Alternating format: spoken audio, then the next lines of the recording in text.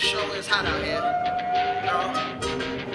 I don't mind, though. I'm glad to be free.